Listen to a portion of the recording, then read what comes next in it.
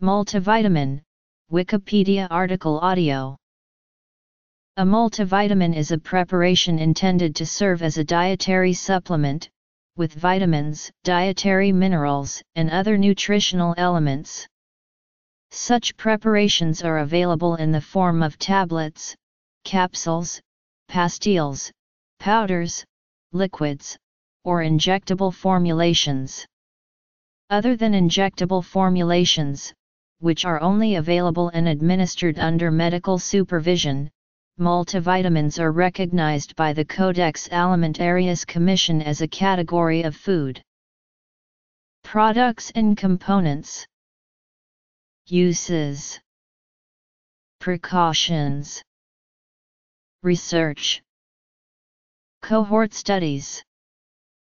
Systematic reviews and meta-analyses Expert bodies. Regulations. United States. News media reporting. In healthy people, most scientific evidence indicates that multivitamin supplements do not prevent cancer, heart disease, or other ailments, and regular supplementation is not necessary. However, specific groups of people may benefit from multivitamin supplements, for example, people with poor nutrition or those at high risk of macular degeneration. There is no standardized scientific definition for multivitamin. In the United States, a multivitamin slash mineral supplement is defined as a supplement containing three or more vitamins and minerals that does not include herbs, hormones, or drugs, where each vitamin and mineral is included at a dose below the tolerable upper intake level as determined by the Food and Drug Board, and does not present a risk of adverse health effects. Many multivitamin formulas contain vitamin C, B1, B2, B3, B5, B6, B9, B12, biotin, A, E, D2, K, potassium, iodine, selenium, borate, zinc, calcium, magnesium, manganese, molybdenum, beta-carotene, and slash or iron. Multivitamins are typically available in a variety of formulas based on age and sex, or based on more specific nutritional needs. A multivitamin for men might include less iron, while a multivitamin for seniors might include extra vitamin D. Some formulas make a point of including extra antioxidants. High-potency formulas include at least two-thirds of the nutrients called for by recommended dietary allowances. Some nutrients, such as calcium and magnesium, are rarely included at 100% of the recommended allowance because the pill would become too large. Most multivitamins come in capsule form, tablets, powders, chewables, liquids, and injectable formulations also exist. In the US, the FDA requires any product marketed as a multivitamin to contain at least three vitamins and minerals. Furthermore, the dosages must be below a tolerable upper limit, and a multivitamin may not include herbs, hormones, or drugs. For certain people, particularly the elderly, supplementing the diet with additional vitamins and minerals can have health impacts, however, the majority will not benefit. People with dietary imbalances may include those on restrictive diets and those who cannot or will not eat a nutritious diet. Pregnant women and elderly adults have different nutritional needs than other adults, and a multivitamin may be indicated by a physician. Generally, medical advice is to avoid multivitamins, particularly those containing vitamin A, during pregnancy unless they are recommended by a healthcare professional. However, the NHS recommends 10 mg of vitamin D per day throughout the pregnancy and whilst breastfeeding, as well as 400 mg of folic acid during the first trimester. Some individuals may need to take iron, vitamin C, or calcium supplements during pregnancy, but only on the advice of a doctor. In the 1999-2000 National Health and Nutrition Examination Survey, 52% of adults in the United States reported taking at least one dietary supplement in the last month and 35% reported regular use of multivitamin multimineral supplements.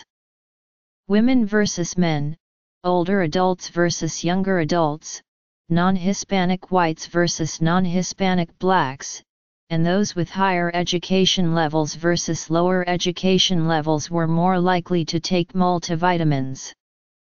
Individuals who use dietary supplements generally report higher dietary nutrient intakes and healthier diets. Additionally, adults with a history of prostate and breast cancers were more likely to use dietary and multivitamin supplements. The amounts of each vitamin type in multivitamin formulations are generally adapted to correlate with what is believed to result in optimal health effects in large population groups. However, these standard amounts may not correlate what is optimal in certain subpopulations, such as in children, pregnant women, and people with certain medical conditions and medication. The health benefit of vitamins generally follows a biphasic dose-response curve, taking the shape of a bell curve, with the area in the middle being the safe intake range and the edges representing deficiency and toxicity. For example, the Food and Drug Administration recommends that adults on a 2000 calorie diet get between 60 and 90 milligrams of vitamin C per day. This is the middle of the bell curve. The upper limit is 2000 milligrams per day for adults, which is considered potentially dangerous. In particular, pregnant women should generally consult their doctors before taking any multivitamins, for example, either an excess or deficiency of vitamin A can cause birth defects. Long-term use of beta-carotene, vitamin A, and vitamin E supplements may shorten life, and increase the risk of lung cancer in people who smoke, former smokers, people exposed to asbestos, and those who use alcohol. Many common brand supplements in the United States contain levels above the DRI/RDA amounts for some vitamins or minerals. Severe vitamin and mineral deficiencies require medical treatment and can be very difficult to treat with common over-the-counter multivitamins. In such situations, special vitamin or mineral forms with much higher potencies are available, either as individual components or as specialized formulations. Multivitamins in large quantities may pose a risk of an acute overdose due to the toxicity of some components, principally iron.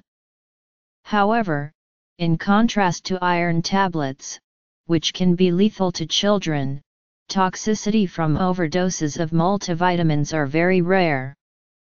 There appears to be little risk to supplement users of experiencing acute side effects due to excessive intakes of micronutrients. There also are strict limits on the retinol content for vitamin A during pregnancies that are specifically addressed by prenatal formulas. As noted in dietary guidelines from Harvard School of Public Health in 2008, multivitamins should not replace healthy eating, or make up for unhealthy eating.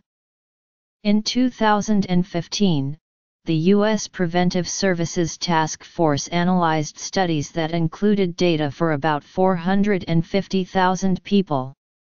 The analysis found no clear evidence that multivitamins prevent cancer or heart disease, helped people live longer, or made them healthier in any way. Provided that precautions are taken, multivitamin intake is generally safe, but research is still ongoing with regard to what health effects multivitamins have.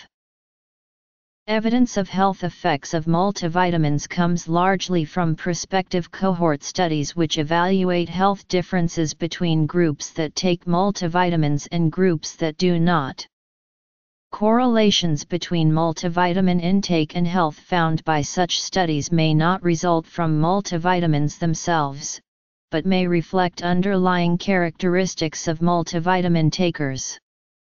For example, it has been suggested that multivitamin takers may, overall, have more underlying diseases. On the other hand, it has also been suggested that multivitamin users may, overall, be more health conscious. Randomized controlled studies have been encouraged to address this uncertainty.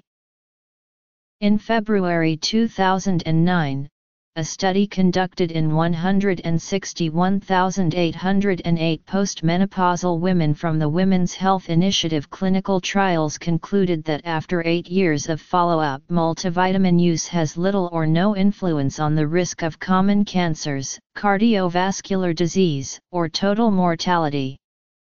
Another 2010 study in the Journal of Clinical Oncology suggested that multivitamin use during chemotherapy for stage 3 colon cancer had no effect on the outcomes of treatment.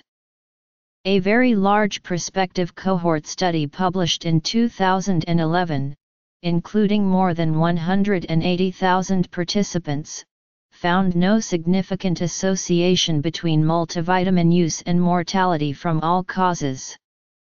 The study also found no impact of multivitamin use on the risk of cardiovascular disease or cancer. A cohort study that received widespread media attention is the Physicians' Health Study 2.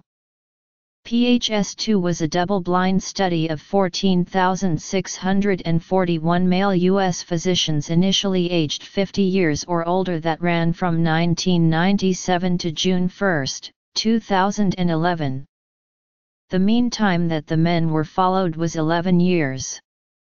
The study compared total cancer for participants taking a daily multivitamin versus a placebo. Compared with the placebo, men taking a daily multivitamin had a small but statistically significant reduction in their total incidence of cancer. In absolute terms the difference was just 1.3 cancer diagnoses per 1,000 years of life. The hazard ratio for cancer diagnosis was 0.92 with a 95% confidence interval spanning 0.86 to 0.998. This implies a benefit of between 14% and 2% over placebo in the confidence interval. No statistically significant effects were found for any specific cancers or for cancer mortality. As pointed out in an editorial in the same issue of the Journal of the American Medical Association, the investigators observed no difference in the effect whether the study participants were or were not adherent to the multivitamin intervention, which diminishes the dose-response relationship.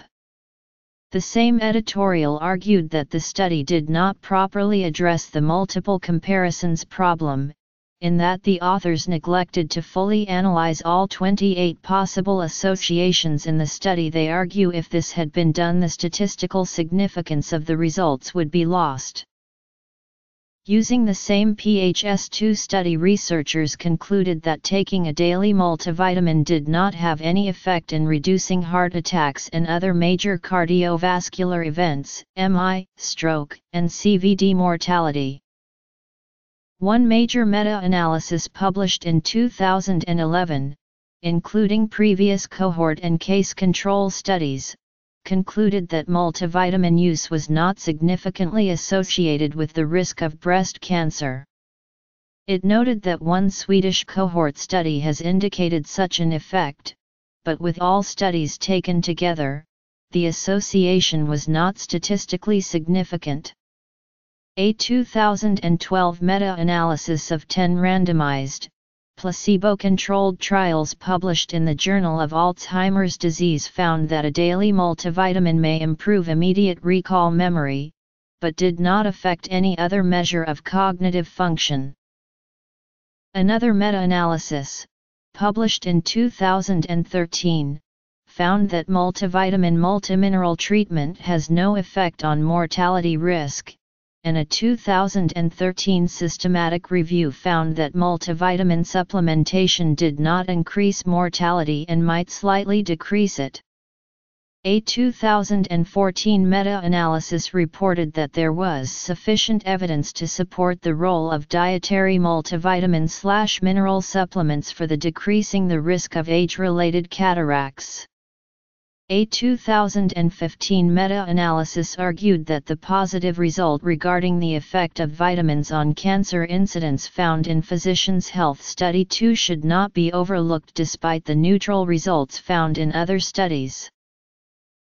A 2006 report by the U.S. Agency for Healthcare Research and Quality concluded that regular supplementation with a single nutrient or a mixture of nutrients for years has no significant benefits in the primary prevention of cancer, cardiovascular disease, cataract, age-related macular degeneration or cognitive decline. However, the report noted that multivitamins have beneficial effects for certain subpopulations, such as people with poor nutritional status, that vitamin D and calcium can help prevent fractures in older people, and that zinc and antioxidants can help prevent age-related macular degeneration in high-risk individuals. A Cochrane review on the specific topic of age-related macular degeneration found that taking vitamin E or beta-carotene supplements will not prevent or delay the onset of age-related macular degeneration. According to the Harvard School of Public Health, many people don't eat the healthiest of diets.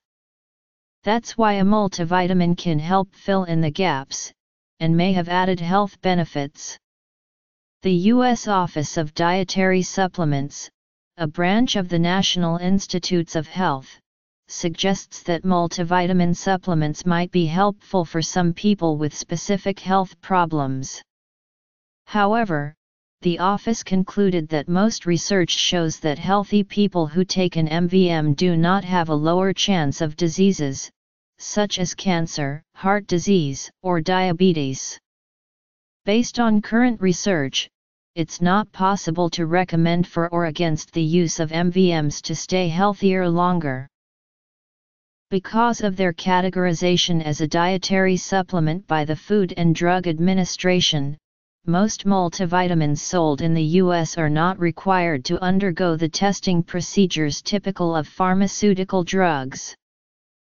However, some multivitamins contain very high doses of one or several vitamins or minerals, or are specifically intended to treat, cure, or prevent disease, and therefore require a prescription or medicinal license in the U.S.